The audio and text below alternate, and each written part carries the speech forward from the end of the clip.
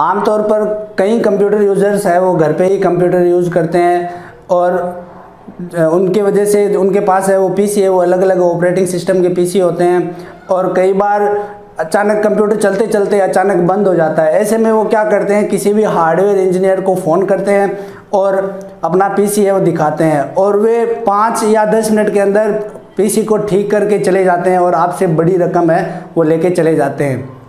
इससे आप पैसे देते समय ज़रूर सोचते होंगे कि आखिर हार्डवेयर इंजीनियर ने ऐसा क्या किया जिसकी वजह से वो 500 से 300 रुपए अपनी फ़ीस है वो लेके चला गया। यकीनन ये समझने से ज़्यादा ठगने वाली बात होती है। तो मैं आज इन सभी प्रॉब्लम और इनके सॉल्यूशन के बारे में बात करूँगा। कंप्यूटर में कई तरह की प्रॉब्लम्स आती है और उन्हें रिपेयर करवाने में हम बहुत सारे पैसे हैं, वो खर्च कर देते हैं। आज मैं ऐसे ही कुछ कंप्यूटर की प्रॉब्लम्स और उनके सॉल्यूशन के बारे में बताने वाला हूँ या जानकारी देने वाला हूँ, जिसे आप फॉलो करके 80 परसेंट तक आप अपने कंप्यूटर को है, वो घर पे ही बैठे ठीक कर सकते हो। हेलो दोस्तों, मैं सत्यपाल शर्मा टेक्निकल दोस्त इंडिया में आपका स्वागत करता हूँ। तो चलिए शुरू करते हैं। नंबर एक कंप्यूटर स्टार्ट नहीं हो रहा है बार बार बंद हो रहा है और कंटिन्यू बीप की आवाज़ आ रही है ट्यून की आवाज़ आ रही है कंटिन्यू लगातार आवाज़ आ रही है।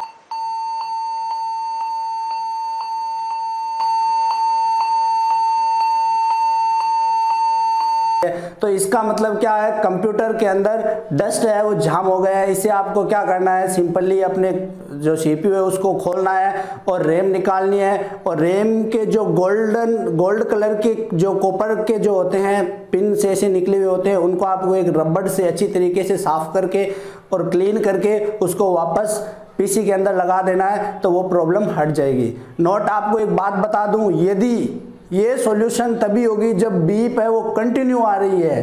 यदि बीप चार बार आ रही है, चार बार आके रुक जाती है, तब अलग तरीके से ये प्रॉब्लम है, उसका हल अलग तरीके से होगा। तीन बार आ रही है, दो बार आ रही है, एक बार आ रही है तो उसका अलग से होगा। ये प्रॉब्लम तभी होती है जब बीप है वो कंटिन्यू आती है।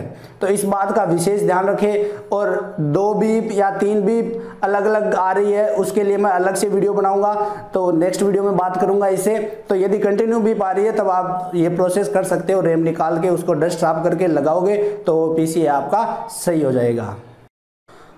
दोस्तों प्रॉब्लम नंबर दो, यदि आपके कंप्यूटर है, वो बार बार रीस्टार्ट हो रहा है तो इसका मतलब आपका जो एमपीएस है पावर सप्लाई है, वो ओवरहीट हो रहा है। तो इसका जो ओवर हीट होने का कारण क्या है, इसके बारे में आपको बात करेंगे। उससे पहले मैं आपको बता दूँ कि मदरबोर्ड को वो प्रॉपर पावर नहीं दे पा रहा है, जिसकी वजह से वो बार बार है, वो क्या हो रहा है रीस्टार्ट हो रहा है। इसकी वजह आपका मदरबोर्ड नहीं है एमपीएस है मतलब पावर सप्लाई है।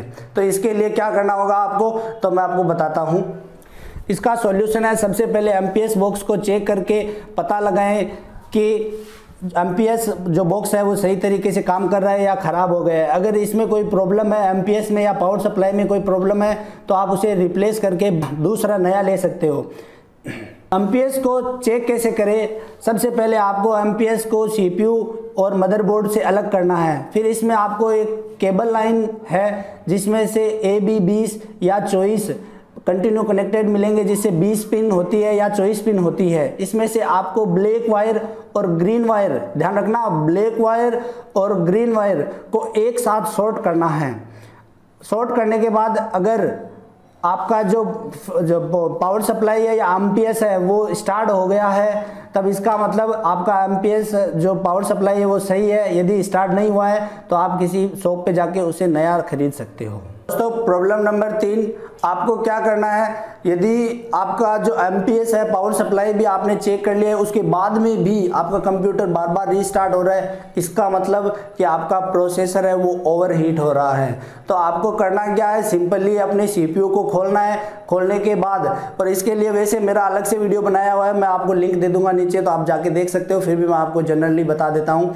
तो आपको स्क्रीन पे एक फ़ैन दिख रहा होगा, उसको आपको निकालना है, उसके बाद जो फ़ैन है उसको डस्ट क्लीन करना है कंप्यूटर को घंटे, दो घंटे बंद कर देना है, जिसकी जिसकी वजह से क्या होगा, जो पावर जो प्रोसेसर है कंप्यूटर का, वो ठंडा हो जाएगा कूल हो जाएगा, उसके बाद आप अपने कंप्यूटर को चला सकते हो। और यदि फिर भी बार बार हीट हो रहा है रीस्टार्ट हो रहा है कंप्यूटर तब आपको फ़ैन का डस्ट है वो क्लीन करना है, या आप उसके ऊपर पेस्ट लगा सकते हो। पेस्ट भी आपके पास अवेलेबल नहीं है तो आप कोलगेट लगा के भी काम चला सकते हो, जिसकी वजह वजह से आपका कंप्यूटर है वो ओवरहीट नहीं होगा। तो बार बार रिस्टार्ट होने के ये दो कारण हो सकते हैं। एक तो जो पावर सप्लाई है, या एम है, और दूसरा है, जो प्रोसेसर है, वो ओवरहीट हो जाता है। ठीक है दोस्तों? तो चलिए नेक्स्ट टिप पे बात करते हैं। तो दोस्तों प्रॉब्लम नंबर चार की बात करते हैं। यदि आपका कंप्यूटर बार बार रीस्टार्ट हो रहा है और स्क्रीन पे एक ब्लू स्क्रीन दिखाई दे रही है आपको तो इसका जो मतलब है सिंपल सा मतलब है, या तो आपकी रैम खराब है या एच डी हार्ड डिस्क खराब हार्ड डिस्क के अंदर कोई ना कोई प्रॉब्लम है। तो इसका सॉल्यूशन क्या करना है? आपको स्क्रीन पर दिख रहा होगा, इस टाइप की जो आपके कंप्यूटर के अंदर स्क्रीन आ रही होगी। तो इसका मतलब या तो आपके सिस्टम में जो रैम डली हुई है, उसमें कोई दिक्कत है, या फिर आपके जो सिस्टम है, उसमें hard disk H D D ख़राब हो सकती है। तो उसमें से दो रैम डली हुई है तो आप एक रैम निकाल के चेक कर लेना, और जिस रैम से चल रहा है तो इसका मतलब रैम का ही दिक्कत है। तो इसका सॉल्यूशन है फ़र्स्ट रैम को आप चेक करो, यानी आपके कंप्यूटर में दो रैम हैं तो एक रैम निकाल कर दूसरी रैम पर ही कंप्यूटर सिर्फ़ चलाओ, और फिर भी यदि ब्लू लाइन आ रही है तो आपको क्या करना है? रैम प्रॉब्लम तो नहीं है तो इसका सॉल्यूशन अगर आपको चेक करना है तो कंप्यूटर में ब्लू स्क्रीन शो हो रही है तो आपको हार्ड डिस्क रिप्लेस करो, क्योंकि 100 प्रतिशत इसमें से 70 प्रतिशत ब्लू जो ये स्क्रीन आ रही है आपको कंप्यूटर पर दिख रही है। इसका आने का सीधा सीधा सा मतलब होता है कि 20 परसेंट रैम में प्रॉब्लम होती है और अस्सी परसेंट हार्ड डिस्क के अंदर प्रॉब्लम होती है और 10 परसेंट जो सॉरी 70 परसेंट हार्ड डिस्क के अंदर प्रॉब्लम होती है और 10 परसेंट है वो ऑपरेटिंग सिस्टम के अंदर प्रॉब्लम होती है।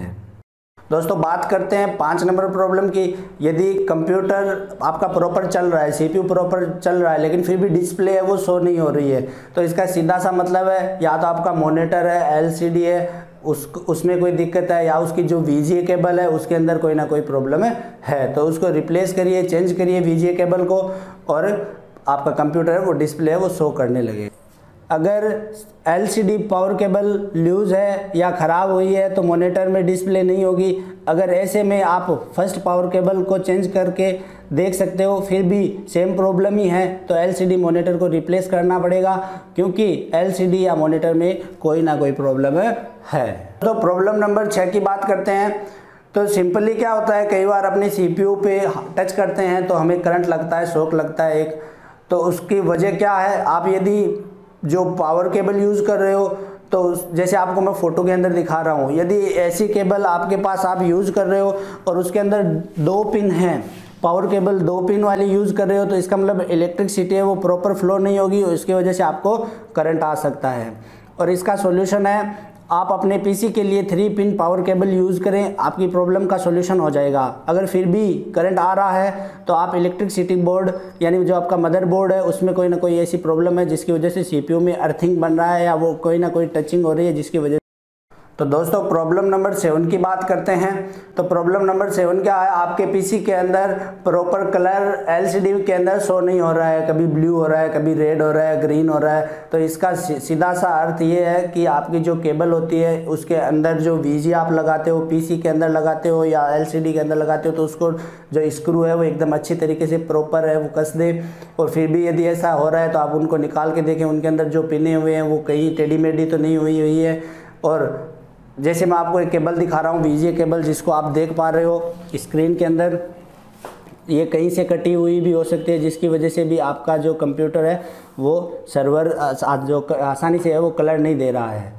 तो इसे आप स्किप करके कलर एक्सेप्ट कर सक, कर सकते हो, और इसका सॉल्यूशन फिर भी नहीं हो रहा है तो वीजे केबल को आपको चेंज करना पड़ेगा। तो इसका मतलब वीजे केबल के अंदर आपके प्रॉब्लम है।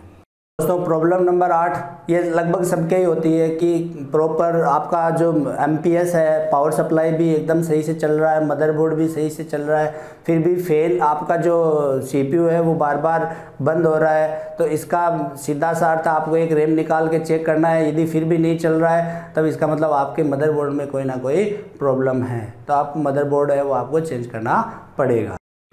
तो दोस्तों आपको जानकारी कैसी लगी? आपको वीडियो हेल्पफुल है, आपको नॉलेज मिल रहा है तो एक लाइक तो बनता है। यदि आप चैनल पे पहली बार आए हो तो चैनल को सब्सक्राइब ज़रूर करिएगा। आज के लिए इतना ही, टाटा बाय बाय। अब मिलते हैं नेक्स्ट वीडियो में। धन्यवाद।